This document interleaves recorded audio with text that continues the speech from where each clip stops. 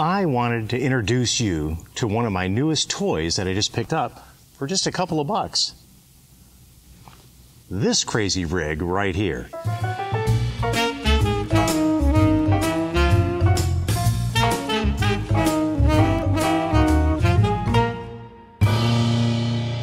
I picked up this little bendable tripod and it had this arm that came off that mounted the phone or an external battery and had a place to mount an extra camera. In this case, I'm using my old GoPro on this. And this creates just a really nice and fun little setup for vlogging. It sets up as a tripod, so I can set it up, film myself coming and going because the phone has cameras going both ways. I can put an external battery on this and plug it into the GoPro to give myself an incredible, crazy amount of time. I could detach this arm. I don't have to use it. Now I've done a couple things for modifications. I've added this little housing for the GoPro and I have it set and I built it so it could slide in and out. Um, I'm able just to quickly take the GoPro in and out, yet it's fairly sturdy in there. I did mount a shoe, a cold shoe on the top. This one happened to have a quarter 20 thread, so I mounted this so I can put in my wireless mic, my Azden mic that gives me problems all the time but uh, right now it's the only wireless mic that I have. It's older, works on VHF technology, and in fact, you may have heard some of the problems that I had with sound, and I'll link the worst video with sound right here. But this is just a fun little vlog system. In fact, right now I am running it. Um, I am filming out of the GoPro and out of the iPhone currently, as well as recording on my mirrorless camera. It makes a wonderful setup that I can vlog with. I can have both the closer view from the iPhone, the more wide angle view from the GoPro, all in one handy unit. Plus, well, the other thing I can do is I can spin this camera around, the iPhone camera around, and have it point the other direction, or I could even turn the GoPro around.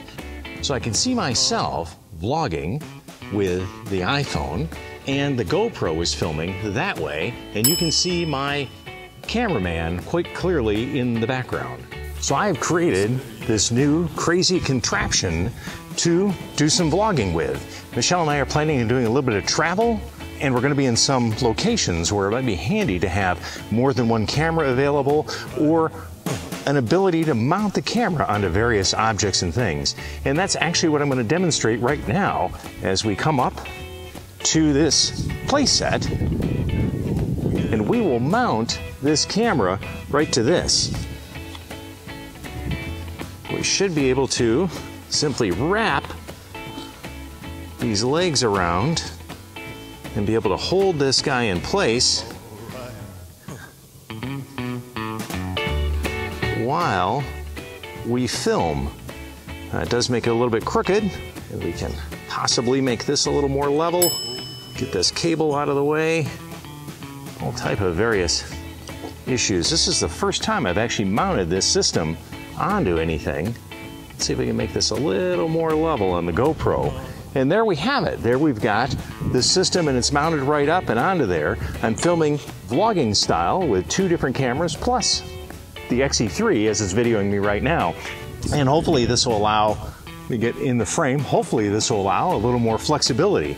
The other thing that the iPhone allows me to do, vlogging with the iPhone, is I can flip the camera around and shoot the other way. So I could be videoing myself and the other direction all at the same time. And now I'm filming vlogging style where I've got this going in two different directions. The GoPro is pointed at me and vlogging me. The iPhone is pointed the other way and looking out. So with that, we can see, of course, you can see my wonderful camera assistant that I have on the Fujifilm camera but it makes for quite an interesting, interesting system. So hopefully we can mount the camera onto this tree. You can see where we are. See my camera set up on a tripod right behind, and then we've got this set up right here. So let's try to mount this guy onto this tree and see what we can come up with.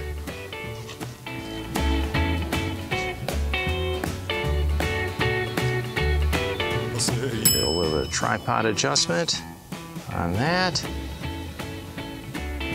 I can even level up this shot a little bit.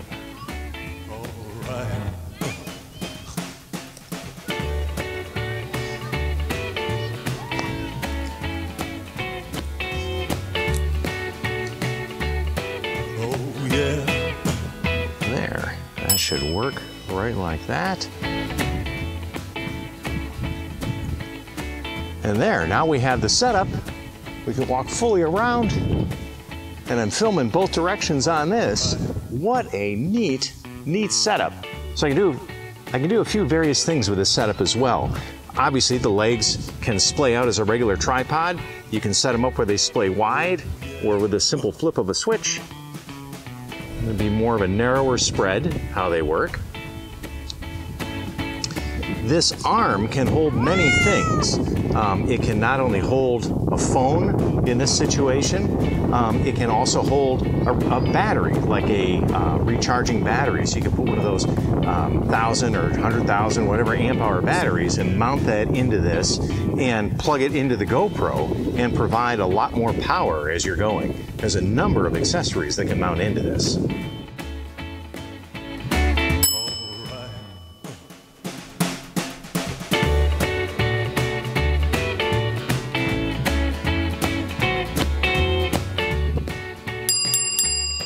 Kind of kind of interesting, isn't it?